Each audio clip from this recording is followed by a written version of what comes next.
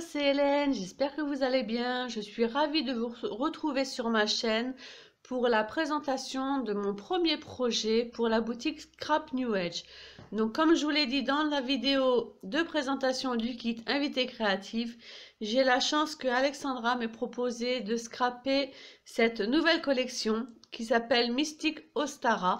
Cette collection est tout à fait magique et j'ai réalisé mon premier projet en Mixed Media et franchement, je l'adore vraiment. Je suis vraiment très fière d'avoir réalisé ce projet.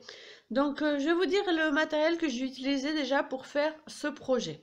Donc, j'ai utilisé, comme vous voyez ici, les papiers de la, collection Mystic Ostara pour faire mon pour euh, recouvrir mon fond. En fait, il s'agit d'un carnet de bullet journal que j'ai entièrement recouvert des papiers de la collection. Ici, le papier avec la galaxie. J'ai fait une tranche et devant, j'ai mis le papier étoile. Ensuite, j'ai travaillé mon fond. J'ai mis une couche de gesso clear pour protéger le papier. Le papier a un aspect euh, brillant qui est super euh, facile et agréable à travailler. Ensuite, j'ai travaillé à la modeling paste et je me suis servi de ce pochoir de chez Stamperia. J'ai fait des petites décos ici et ici en bas. Ensuite, j'ai joué avec mes encres. Donc, euh, j'ai euh, découvert récemment les encres Distress Oxide en spray de la marque Ranger. Et, ces deux couleurs, le Wilted Violet et le Piquet Raspberry, vraiment allaient parfaitement bien avec les couleurs violet du papier. Et comme c'est la première fois que je scrapais ensemble le violet et le bleu, et j'étais vraiment agréablement surprise. Du coup, j'ai ressorti mon flacon de spray Aeda Mist, le pastel cobalt, pour faire des petites touches de bleu. Donc, vous, voyez ici, vous voyez du bleu. Donc, à chaque fois, je pchit l'encre, je pchit de l'eau avec un spray et avant de sécher, je fais faire quelques coulures. Donc je bouge un petit peu mon projet et je ne sèche pas tout de suite au heat gun. J'éponge avec une lingette. Et ensuite je sèche. Comme ça, on peut rejouer, en faire une deuxième avec la deuxième encre. Et si on veut rajouter, comme j'ai fait moi, avec une troisième encre. Voilà pour le fond. Ensuite, j'ai décidé de passer au déco. Donc pour les décos principales, le grand chipboard ici que vous voyez au milieu, le chipboard soleil. Je l'ai collé sur un embellissement en métal pour qu'il prenne un petit peu de hauteur. Donc je colle tout au 3D Gloss Gel, qui vraiment ça tient très bien. Donc le chipboard soleil, moi ici il me reste du kit le chipboard lune. Donc c'est un chipboard comme ceci que j'ai utilisé ici. J'ai mis ensuite des petits chipboards en dessous. Moi, il commence à être un petit peu caché. Mais c'est les chipboards comme ceci que j'ai utilisé, que j'ai collé en dessous. Ensuite de la collection, j'ai collé ici un badge que j'avais eu dans mon kit. Le badge, la série de 4 badges de la collection Mystico Stara. Donc j'ai pris celui-ci.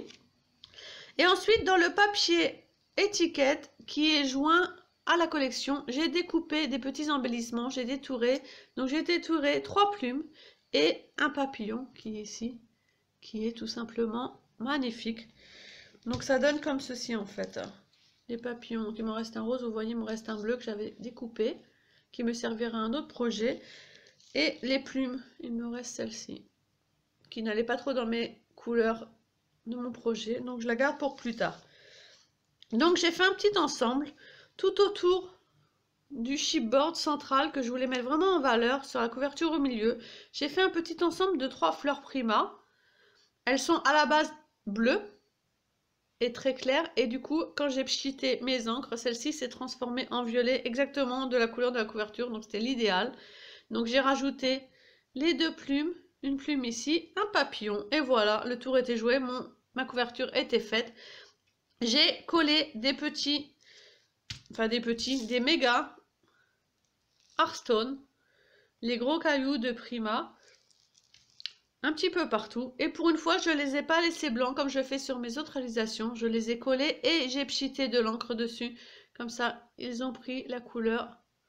Donc soit du bleu, soit du euh, mauve ici. Ici en dessous, il y a du bleu aussi. Et ensuite, j'ai saupoudré de paillettes que vous pouvez retrouver aussi dans la boutique. Les paillettes de Aida Powder 3D, c'est des Silver Hologram Glitter. C'est des paillettes comme ceci. Donc j'en ai saupoudré un petit peu partout. Donc vous voyez, du coup ça brille. Ça fait vraiment l'ambiance euh, galaxie, mystique, étoile, vraiment. J'adore cette ambiance. Donc vous voyez qu'il y en a ici, ici. Donc vous mettez de la, du 3D Gloss Gel un petit peu partout. Et après vous saupoudrez et voilà, tout se colle, tout est collé. il en tombe un tout petit peu après, mais le principal reste collé. Et pour faire cet effet ici, c'est la première fois que j'utilise cet effet et je pense que vous allez le voir souvent. On le voit peut-être mieux ici.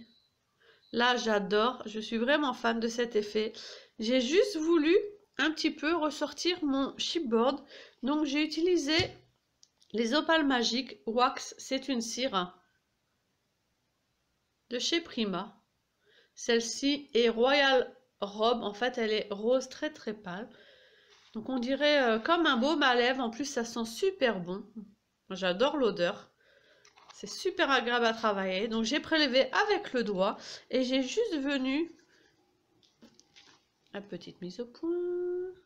Voilà. J'ai juste venu appuyer sur mon chipboard. Et du coup, je l'ai fait aussi sur mes, mes, mon, fond en pochoir au modeling pass. Vous voyez qu'il n'est plus blanc en fait puisque je lui ai mis de la cire.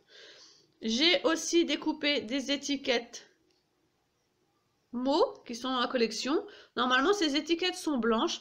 Donc pareil, j'ai pulvérisé de l'encre. J'ai dû faire un mélange, je crois, de... Je crois que j'ai fait le mélange des deux, le, le violet et le mauve. J'ai pulvérisé l'encre sur ma plaque en verre de travail avec un peu d'eau et j'ai mis les étiquettes dedans. Je les ai tout de suite retournées et tapotées un petit peu avec euh, ma, ma lingette pour faire des encres assorties au projet. Donc voilà mon premier projet pour la boutique. Moi j'en suis vraiment très très contente. J'espère qu'il vous plaira. J'espère qu'il vous inspirera. Comme quoi avec les collections on, peut scraper autre chose que des pages, des tags, des cartes. On peut se faire un, magnifique projet. Et franchement là bah, j'ai une couverture unique pour euh, mon prochain bullet journal. Et euh, celui-ci, euh, je vais le garder pour moi parce que franchement, je l'adore. Si ça vous dit de revoir euh, ce projet en vidéo tuto, pourquoi pas? Parce qu'il me reste un bullet journal que je peux aussi altérer. Donc pourquoi pas? Je, je vous laisse avec les photos. Et je vous dis à bientôt pour une prochaine vidéo pour la boutique Scrap New Edge. Bye bye